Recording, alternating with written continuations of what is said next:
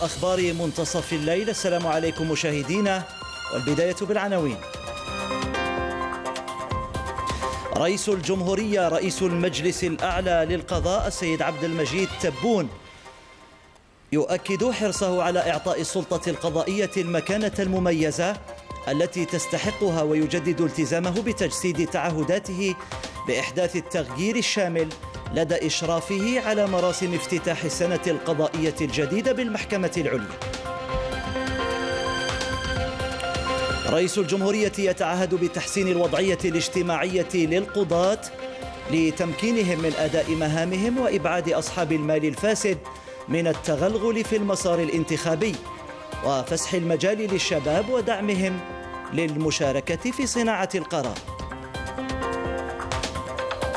تدابير وإجراءات محفزة للمؤسسات والحفاظ على سياسة الدعم الاجتماعي للفئات الهشة وتوقعات بارتفاع حجم الصادرات خارج المحروقات ضمن مشروع قانون المالية لسنة 2022 مريدو الطريقة التيجانية من عموم إفريقيا يشيدون بالتاريخ النضالي الحافل للجزائر خلال زيارتهم للمتحف الوطني للمجاهد. والخليفة العام للطريقة التيجانية يؤكد على دور الجزائر في نشر الفكر التحرري بالقارة الإفريقية.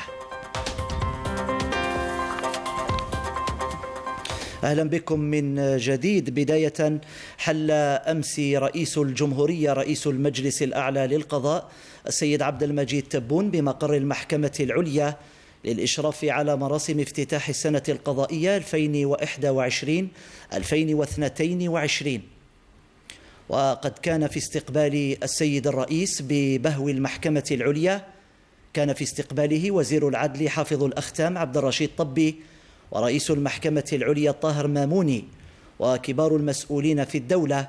يتقدمهم رئيس مجلس الأمة صالح جوجيل ورئيس المجلس الشعبي الوطني إبراهيم بوغالي. والوزير الأول وزير المالية أيمن بن عبد الرحمن ورئيس المجلس الدستوري كمال فنيش ورئيس أركان الجيش الوطني الشعبي الفريق السعيد شنقريحة وعدد من أعضاء الحكومة وإطارات قطاع العدالة.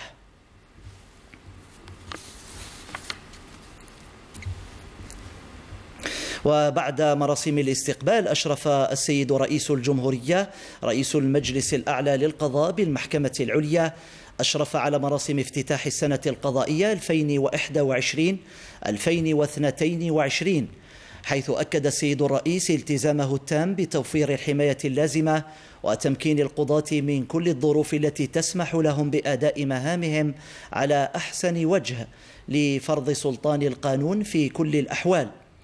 وأوضح السيد رئيس الجمهورية أن التغييرات العميقة تشكل صفحة جديدة تؤسس لعدالة جديدة يتحرر فيها القضاة لأداء مهامهم بحياد تام ومهنية عالية.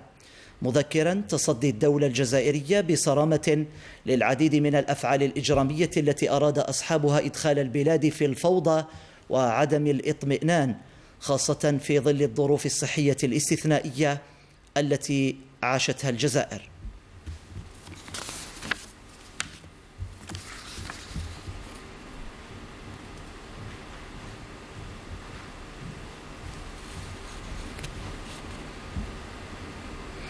السيد الرئيس أكد حرصه على إعطاء السلطة القضائية المكانة المميزة التي تستحقها مجددا التزامه بتجسيد تعهداته بتحقيق كل المطالب والطموحات المشروعة للشعب الجزائري بإحداث التغيير الشامل. نتابع.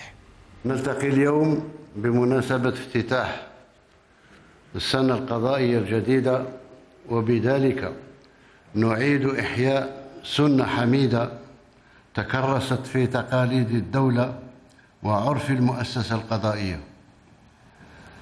هذه المحطة تعتبر فرصة ليؤكد فيها حرصي حرصي على إعطاء السلطة القضائية المكانة المميزة التي تستحقها. وكذلك أقف وإياكم على الأشواط والإنجازات التي حققها قطاع العدالة والتذكير بالأهداف المنشودة ورسم المعالم المستقبلية التي نسعى إلى تحقيقها لاستكمال بناء دولة الحق والقانون وتكريس دعائم السلطة القضائية لسلطة قضائية قوية مستقلة وناجعه تعزز ثقة المواطن بالدولة وتولد الشعور لديهم بالأمان والطمأنينة. السيد الرئيس أكد أيضا أن التغيير الحقيقي والشامل بدأ بخطى ثابتة بداية بالتعديل الدستوري وصولا إلى بناء الصرح المؤسساتي الجديد للجزائر. لقد تعهدت أمام الله وأمام الشعب الجزائري كله غداة منحي بثقته ثقته في الانتخابات الرئاسية بتحقيق مطالبه وطموحاته المشروعة. من أجل إحداث تغيير شامل وحقيقي يسمح بتقويم وطني وإعطاء انطلاقة جديدة لبلادنا ويتيح له العيش في جزائر ديمقراطية مزدهرة وفية لقيم ثورة الفاتح من نوفمبر 1954 ورسالة شهداء الأبرار. إن هذا المسعى استوجب إحداث تغيير شامل وحقيقي يسمح بتقويم البناء الوطني. ولإنجاح هذا المسار توجب علينا احترام المراحل والسير بخطى ثابتة بدأناها بالتعديل الدستوري الذي زكاه الشعب. ثم شرعنا بعدها في بناء الصرح المؤسساتي الجديد ابتداء بتنظيم انتخابات تشريعية لاختيار الشعب الممثليه في المجلس الشعبي الوطني وحرصت فيها وحرصت فيها الدولة كل الحرص على إبعاد أصحاب المال الفاسد من التغلغل فيه ومن خلال إعادة النظر في النظام الانتخابي بهدف أخلقت الحياة السياسية وإبعاد تأثير المال السياسي عن المسار الانتخابي وفسح المجال للشباب وتقييد وتقديم كل الدعم لهم للمشاركة في صناعة القرار.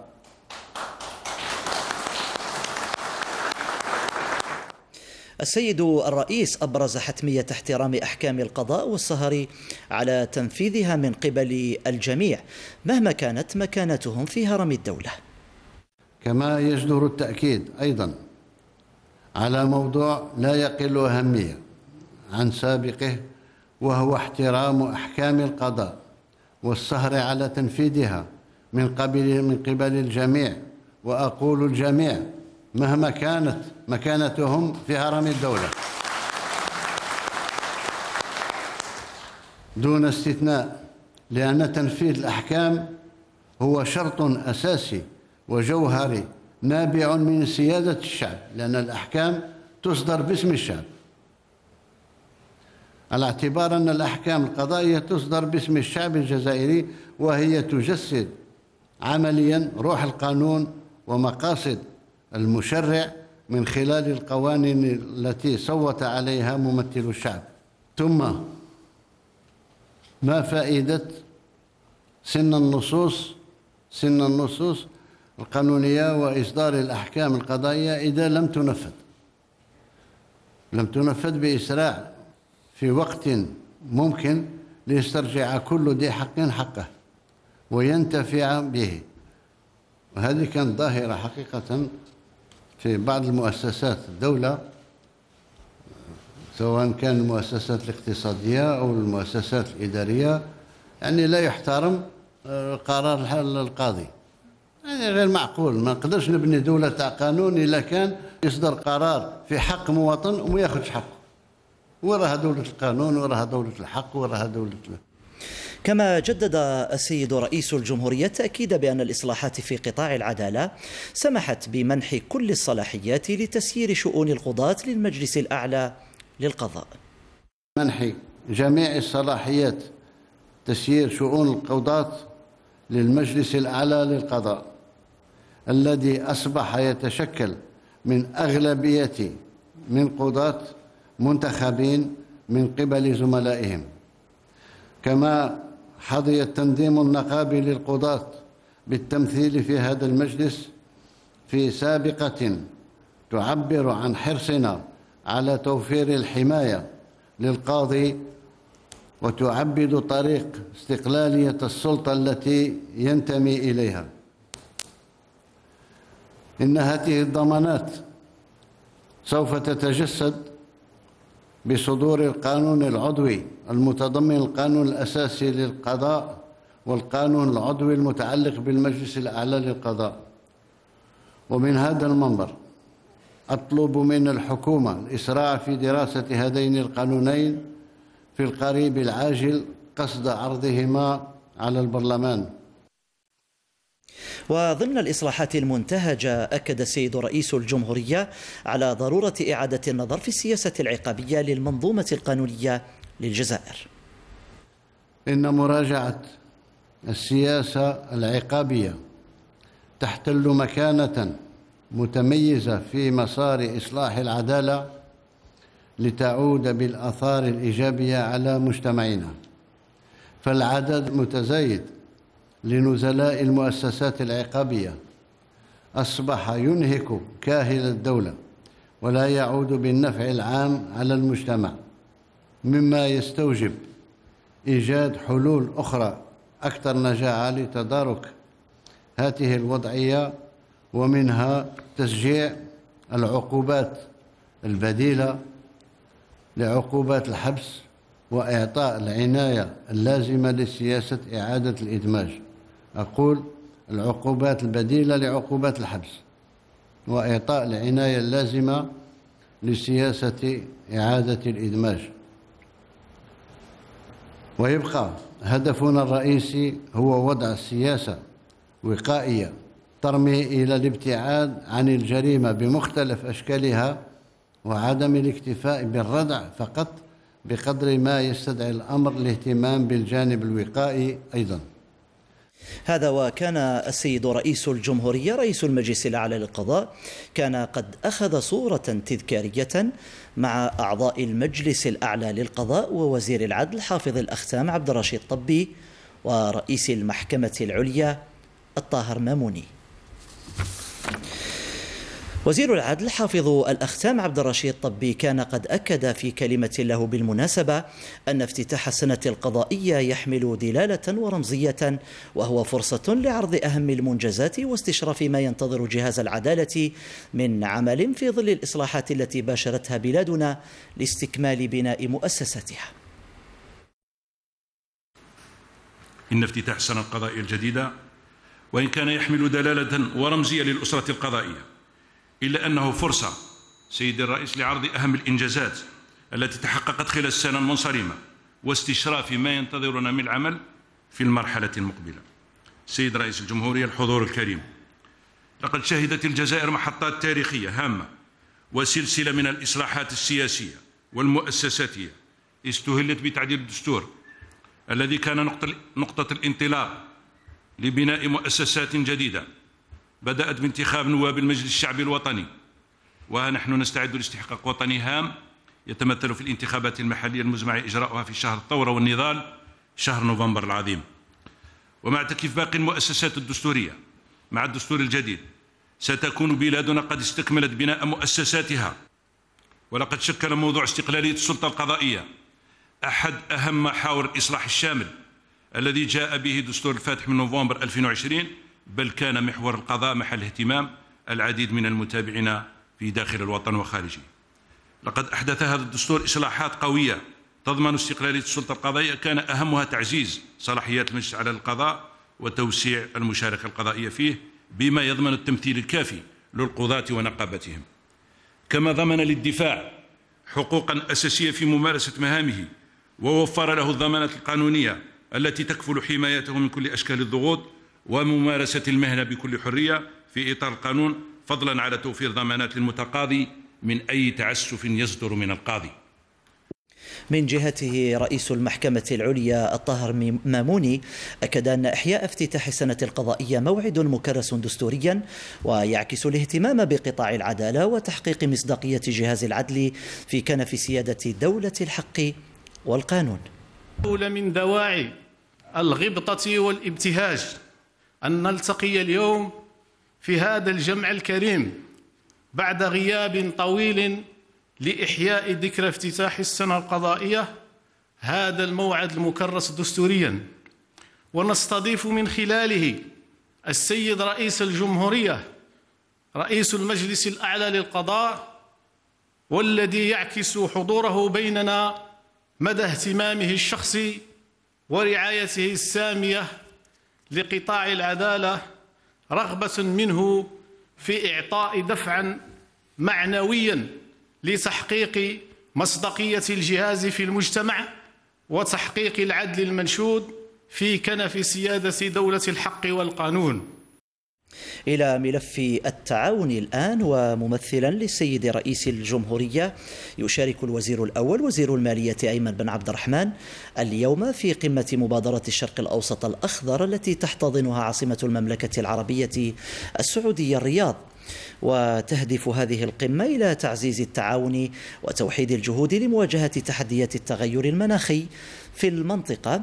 هذا وستشكل قمة الرياض فرصة لإبراز المجهودات التي تبذلها الجزائر وكذا التزامها بمكافحة ظاهرة التغير المناخي وحماية التنوع البيئي. موفدنا إلى الرياض وليد ساري انطلاقا من دور الجزائر الريادي في الحفاظ على المناخ ودعم جهود المجتمع الدولي في مواجهة التحديات الرئيسية. يشارك الوزير الأول وزير المالية السيد أيمن بن عبد الرحمن ممثلا لرئيس الجمهورية السيد عبد المجيد تبون في قمة مبادرة الشرق الأوسط الأخضر التي تحتضن أشغالها العاصمة السعودية الرياض. وفي إطار التحضيرات للقمة البيئية العالمية أكد وأثنى العديد من الخبراء ورؤساء منظمات دولية مهتمة بالبيئة على الدور الهام والجهود الكبيرة. التي تبذلها الجزائر حفاظا على المناخ. السعودية والجزائر تتحدث عن أشقاء آه، على الصعيد العربي وأيضا آه، التوجه في آه، مسألة المناخ وتوجه عالمي للمحافظة على الحد الأدنى من التأثيرات للتغير المناخي. أشكر الجزائر على المجهودات التي قامت بها في الحفاظ على البيئة وكذا تسيير ورسكلة النفايات والحفاظ على المناخ ونظافة المحيط كما أن الجزائر تتميز بشريطها الساحلي الجميل لذا وجب الحفاظ عليه بيئيا. ونرجو من الجزائر أن تتبادل خبراتها مع دول البحر الأبيض المتوسط. قمة مبادرة الشرق الأوسط الأخضر ستكون الجزائر حاضرة فيها بعدة تجارب وإسهامات خاصة وأنها التزمت باتفاقية باريس للمناخ منذ سنة 2015 هذا ليس بغريب على بلدين كبيرين في المنطقة مثل الجزائر والمملكة العربية السعودية على الاهتمام بالمناخ لتأثيره المباشر على آه، الحياة ونوعية الحياة وجودة الحياة للمواطن. فبلا شك أنه القمم الشرق الأوسط الأخضر والسعودية الخضراء والشباب آه، الخضراء أيضا كلها تعني بمستقبل المناخ في المنطقة. وبلا شك أنه الزراعة أو الأشجار أو الشجر يعني الكثير لأنه يعني الحياة. فإذا شاركت هذه البلدين مثل الجزائر والمملكة العربية السعودية ليس بغريب. مشاركة الجزائر في قمة مبادرة الشرق الأوسط الأخضر التي تحتضنها المملكة العربية السعودية هو دليل على مواصلة الجزائر في جهودها من أجل إحداث تأثير عالمي لمواجهة ظاهرة التغيير المناخي وحماية الأرض والطبيعة والإسهام أكثر وبشكل قوي وفعال لتحقيق المستهدفات العالمية خلال المؤتمر القادم للأمم المتحدة للتغيير المناخي بجلاسكو وليد ساري مبعوث التلفزيون الجزائري الرياض المملكة العربية السعودية. برلمانيا قدم أمس الوزير الأول وزير المالية أيمن بن عبد الرحمن عرضا حول مشروع قانون المالية لسنة 2022 وذلك أمام لجنة المالية والميزانية بحضور وزيرة العلاقات مع البرلمان بسمه عزوار. العرض تطرق خلاله أيمن بن عبد الرحمن إلى ارتفاع الصادرات خارج المحروقات موضحا أن الزيادة في أسعار المواد الاستهلاكية يعود إلى ارتفاع سجلته المواد الأولية بالأسواق العالمية. كما أكد أيمن بن عبد الرحمن أن تنوع الاقتصاد حتمية للخروج من الاقتصاد الريعي داعيا إلى ترشيد النفقات. يتعين تكريس سنة 2022 لتعزيز الإجراءات التي أقرتها السلطات العمومية من أجل أولا تحفيز وتنويع النشاط الاقتصادي لإنعاش النمو وتقليص الاعتماد على المحروقات. إعادة التوازنات الحسابات العمومية على المدى المتوسط. ثالثا ضمان استمرارية الميزانية العمومية حيث خصصت سنة 21 كما قلت لتعزيز التدابير المتخذة خلال 20 والتي من شأنها السماح ب أولا العودة التدريجية للنشاط الاقتصادي إلى مستويات تسمح بتغطية الخسائر المسجلة سنة 20 ثانيا التخفيف من اختلالات الحسابات الداخلية والخارجية للدولة. فيما يخص أهم مجاميع التأطير الاقتصادي الكلي والمالي فقد تم إعادة إعداد ومناقشة التأطير الاقتصادي الكلي والمالي المتعلق بالفترة 22 24 مع الدوائر الوزارية المكلفة خاصة أو لا سيما بالطاقة الفلاحة الهياكل التابعة لوزارة المالية وكذا بنك الجزائر. وتأخذ هذه التوقعات بعين الاعتبار مستويات الإنجاز إنجازات السابقة وآفاق انعاش النشاط في القطاعات الاقتصادية نتيجة الإجراءات الوقائية وإجراءات الإنعاش الاقتصادي التي تنفذها السلطات العمومية كما أنها تأخذ بعين الاعتبار البيئة الاقتصادية الدولية المتعلقة بشكل خاص بسوق المحروقات. الوزير الأول وزير المالية أكد أن الدولة ماضية في الحفاظ على سياسة الدعم الاجتماعي خاصة للفئات الهشة. استمرار دعم الدولة من أجل الحفاظ على المكاسب الاجتماعية للمواطنين لا سيما في مجالات الصحة التعليم وكذا المحافظة على القدرة الشرائية للمواطنين. بالإضافة إلى ذلك يظهر هيكل التحويلات الاجتماعية لسنة 22 الحفاظ على حصة معتبرة من دعم الدولة للأسر والدعم الممنوح لقطاعي السكن والصحة حيث يمثل تمثل هذه الفئات ما يمثل 60% من مجموع التحويلات الاجتماعية. وسيبلغ دعم الأسر 597.7 مليار دينار جزائري بزيادة قدرها 8% مقارنة بقانون المالية التكميلي سنة 21 ما يمثل 31% من إجمالي التحويلات ويشمل هذا الدعم بشكل أساسي دعم أسعار المنتجات الأساسية من حبوب حليب سكر وزيت مساهمة الدولة في صندوق احتياطات التقاعد والتعويضات التكميلية لمعاشات التقاعد والعجز. والتعويضات التكميلية لعلاوات التقاعد والتعويضات التكميلية للمعاشات والمكافآت والزيادة الاستثنائية بخمسة في المئة بمعاشات لمعاشات وعلاوات التقاعد لكل من نظام الأجراء وغير الأجراء. في بيان لوزارة الشؤون الخارجية أمس سلم محمد عنتر داود الخميس الماضي للأمير ألبرت الثاني أمير موناكو أوراق اعتماده بصفته سفيرا مفوضا فوق العادة للجمهورية الجزائرية الديمقراطية الشعبية لدى إمارة موناكو مع الإقامة في باريس. وجرت مراسم أو المراسم بحضور مستشار الحكومة وزير العلاقات الخارجية والتعاون وقنصل الجزائر بنيس. في تعاون وعشية انعقاد الدورة السابعة للجنة الحدودية المشتركة الجزائرية النيجيرية. المزمع تنظيمها اليوم وغدا بالعاصمة. حل أمس وزير داخلية النيجر الكاش الهادا بالجزائر. وقد كان في استقباله بأرضية مطار هواري بومدين الدولي. وزير الداخلية والجماعات المحلية والتهيئة العمرانية كمال بلجود. كما تكتسي هذه الدورة أهمية بالغة لتعزيز وتطوير التعاون بين البلدين الشقيقين. على هامش الاحتفاء بقبطانية بقطبانية مؤسس الطريقة التيجانية زار أمس وفد من مريدي الطريقة التيجانية من عديد الدول الإفريقية زاروا متحف المجاهد بالعاصمة. وقد أكد الحاضرون على دور الجزائر في تصدير الفكر التحرري إلى كل إفريقيا مثمنين محطات الكفاح الجزائري من أجل استرجاع السيادة الوطنية. المتابعة لهشام بوميدة. مريدو الطريقة التيجانية حضروا إلى الجزائر من عديد الدول الإفريقية وحتى من فرنسا. زاروا متحف المجاهد ووقفوا عند أهم المحطات المخلدة لتاريخ الجزائر.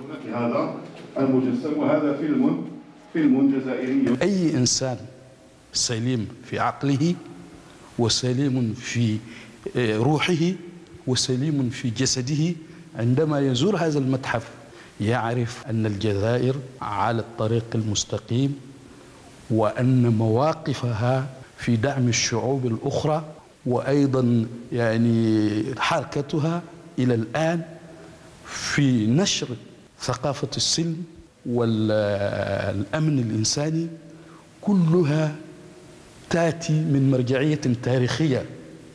هي الآن أولى بتسويق هذه القيم ليس فقط في إفريقيا وإنما في العالم في العالم اجمع. الخليفة العام للطريقة التيجانية ثمن زيارة الوفد إلى الجزائر للمشاركة في قطبانية مؤسس الطريقة التيجانية تزامنا مع شهر ربيع الأنوار. جاتنا إحنا فرحتين. الفرحة الأولى وهي شهر سيد الوجود صلى الله عليه وسلم. والفرحة الثانية هو شهر هو القطبانية نتاع الشيخ سيدي أحمد تجاني رضي الله عنه. تلاقوا مع بعضهم بعض لأنه هو الشيخ سيدي أحمد تجاني بن رسول الله صلى الله عليه وسلم. تلاقوا مع بعضهم بعض شهر سيد الوجود وإحياء القطبانية للشيخ أحمد تجاني وجاءت هذه النخبة نخبة قليلة ولكن الصدى نتاعها كبير. دولة قائمة بذاتها ذات سيادة. الوفد زار أجنحة المتحف الثلاث. وتلقى شروحات خصت جناح المقاومة الشعبية المسلحة وجناح الحركة الوطنية وجناح الثورة التحريرية. إلى مستجدات الوضعية الوبائية بالبلاد الآن حيث تم تسجيل 72 إصابة جديدة بفيروس كورونا وأربع وفيات رحمهم الله فيما تماثل 66 مريضا للشفاء حسب ما أفاد به بيان لوزارة الصحة. دوليا وفي الشأن الصحراوي شن جيش التحرير الشعبي الصحراوي أمس شن هجمات جديدة استهدفت نقاط تمركز قوات الاحتلال المغربي ومنشآته العسكرية المنتشرة خلف الجدار الرملي على مستوى تخندقات قوات الاحتلال المغربي بعدة آه، مناطق. ونختم بالرياضة حيث تأهل فريق وفاق سطيف إلى الدور التمهيدي الثالث إياب بعد تغلبه بهدفين دون رد على منافسه نواديب الموريتاني ضمن منافسة رابطة أبطال إفريقيا لكرة القدم.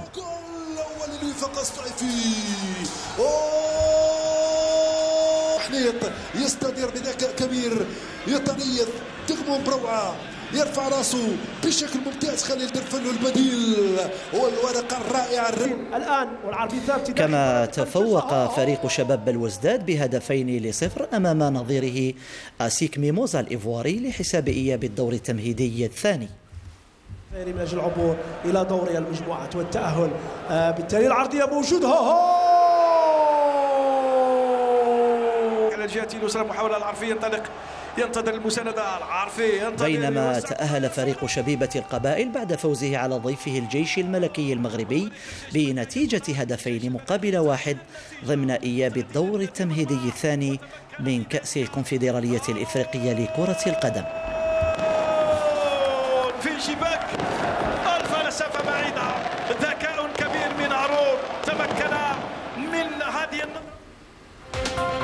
هنيئا لنوادينا الفائزة والمتأهلة في هذه المنافسات الإفريقية.